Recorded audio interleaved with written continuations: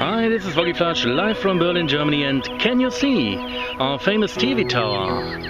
All you can see is the wild park, but if I press zoom, there it is, the beautiful TV tower in some kilometers distance. And what can we see here? A church hidden behind the bushes. A plane! A plane in the air! And there is a birdie, much more elegant than the man-made plane. And some graffiti.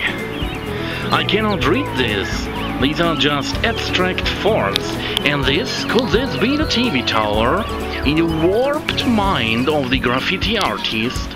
Hmm, such a lovely building. I don't know. It looks very strange. And even more graffiti. So colorful. It is almost unreal. But this is the Berlin Wall.